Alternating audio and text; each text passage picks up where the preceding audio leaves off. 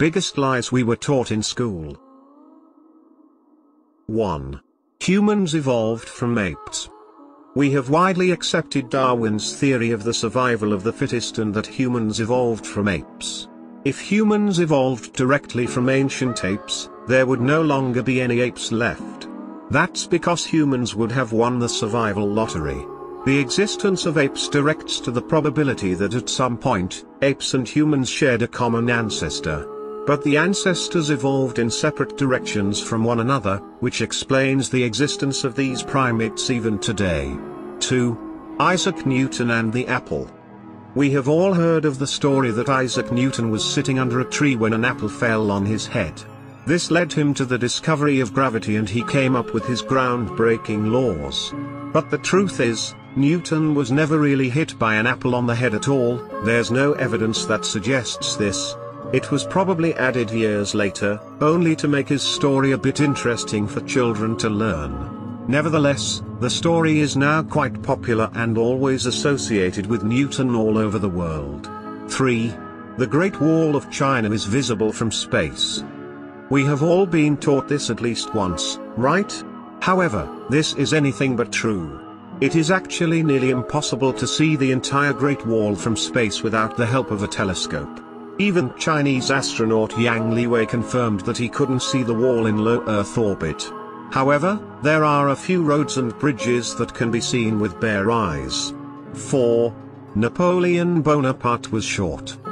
Napoleon was known to be a master tactician and the successful emperor of France. Along with this, the man is widely associated with having short stature. There's even a psychological condition termed after him, the Napoleon complex, for people who have an inferiority complex. However, Napoleon wasn't really short at all. He is believed to have been 5 featuring 2 inches tall, which is measured in French inches.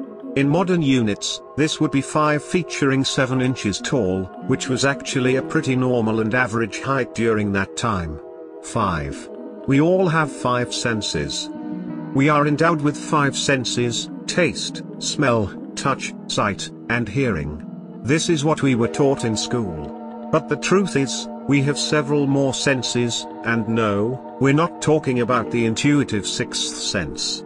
Other senses include the sense of spatial perception, vibration, time, balance, direction, and temperature.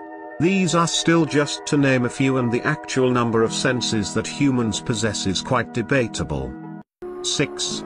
Christopher Columbus discovered America.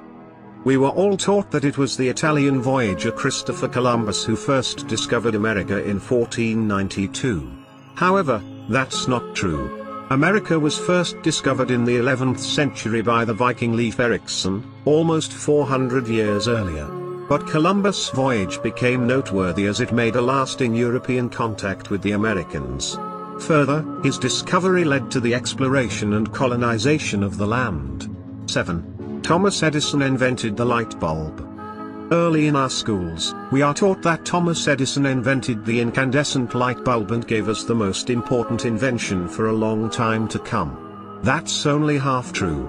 In 1800, the rudimentary model of the light bulb was already under progress because of Alessandro Volta. Edison was born nearly 50 years later in 1847. Volta's design was further improved by the likes of Joseph Swan and Warren de la Rue.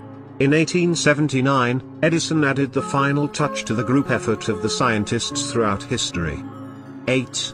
George Washington and the Cherry Tree. For generations, students in school have been learning the story of George Washington chopping down a cherry tree.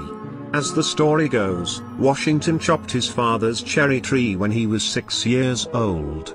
His father was naturally furious, but the young boy honestly confessed and said that he cannot tell a lie, even if it meant his father would punish him. So, he ended up earning praises for his honesty.